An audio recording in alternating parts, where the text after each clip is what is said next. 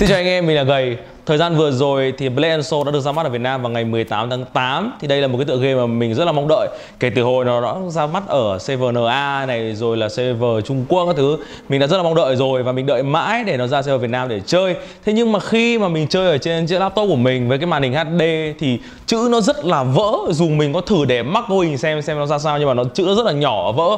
Và nếu mà như mà mình chuyển sang mình cắm vào một cái màn hình Full HD hay thậm chí là cái màn hình 219 với tỷ lệ khoảng 2.500 à, nhân 1080 thì nó cực kỳ giật và FPS rất rất rất thấp. Và mình đã cho anh em xem ở đầu đấy là FPS rất thấp. Vậy thì mình đã không có thắc mắc là nếu mà bây giờ mình muốn build một cái cấu hình mà để được mắc cấu hình với độ phân giải là Full HD dù là để tỷ lệ 1069 hay là 219 thì sẽ hết khoảng bao nhiêu tiền?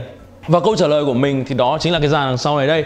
Với cái cấu hình như thế này thì có lẽ là nhiều bạn đã từng nghe qua rồi. Một cái cấu hình sở hữu con chip G4560 với các đồ họa GTX 1050 Ti với 8GB cái, cái thường ấy thì cái cây này đã được giới thiệu để chơi một số tựa game khá hot hiện nay như PUBG Thế nhưng mà Blend Soul là một tựa game khá khác so với Battleground và nó yêu cầu một cái kiểu cấu hình nó hơi khác một chút. Mình đã thử chơi Blend Soul trên một cái cấu hình lại. Xenon E3 1200V3 với 16GB RAM và thậm chí là GTX 960 một cái cấu hình cũng không mới. Thế nhưng mà mình cứ nghĩ là nó sẽ chơi được nuột cơ nhưng mà khi mà mình thử chơi thì mình cảm thấy là nó khá là khó chịu khi mà FPS trung bình chỉ khoảng độ tầm năm mấy 60 và thậm chí là đến một số đoạn cảnh lốt map này hay là đánh boss nhiều, thậm chí nó còn tụt xuống còn có hai mấy.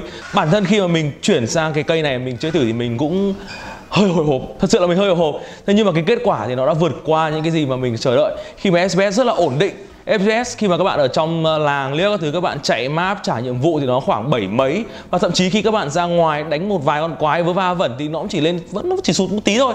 Chỉ khoảng sáu mấy thôi chứ nó không bị tụt quá nhiều. Và thậm chí khi mà mình dùng để vượt phó bản các thứ thì FPS tụt thấp nhất mình thấy nó vẫn chỉ có khoảng độ năm, sáu, tức là gần sấp xỉ mức 60 cái mức mà vẫn còn thừa sức cho các bạn có thể chơi thoải mái và không vấn đề gì cả về độ chật lát hay trễ trước gì hết. Và đặc biệt là mình để mắc hình luôn kể cả những cái khi mà nó có chuyển cảnh lốt map ấy, thì nó hơi sụt một chút, thì nó chỉ sụt xuống cái mức khoảng độ tầm 43 và 44 đấy là cái mức tối thiểu mà nó sụt xuống, chứ nó không hề bị sụt quá nặng như khi mình thử cái dàn 1200 V3 với lại à, GTX 960 thì mình cảm thấy rằng là với cái cấu hình như vậy thì nó đang khá mạnh hơn so với một số những cái cấu hình thuộc dạng gọi là top ngày xưa rồi Thực ra cái chiếc cây này thì Duy Thẩm đã từng giới thiệu anh em rồi Và với cái tầm giá của chiếc cây này, Nếu mà không có ổ cứng sẽ rơi vào khoảng độ tầm sấp xỉ 9 triệu.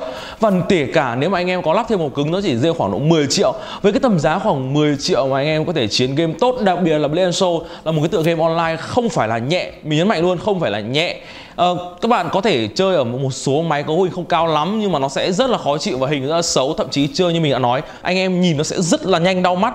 Buộc phải để lên cái độ phân giải Full HD và khi Full HD thì với cái cấu hình như vậy mới là một cái cấu hình tối ưu để cho anh em có thể chơi game và cũng giải trí của bạn bè.